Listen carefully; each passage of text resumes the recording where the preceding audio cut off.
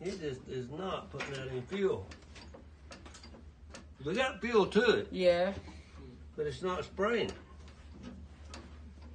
So we may have to do a little more work on that carburetor. I mean, it's the first one I've ever done. It- Well, I mean, this is pretty simple and ain't really much. Go ahead.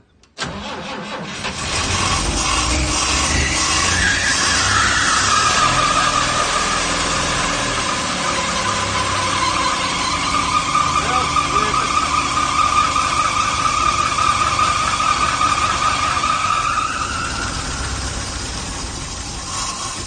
Keep trying. Huh? Keep trying on that line over there. Oh, yeah. Yeah, I thought I'd say we're leaking somewhere. Up the top. Uh, but it run. Woohoo!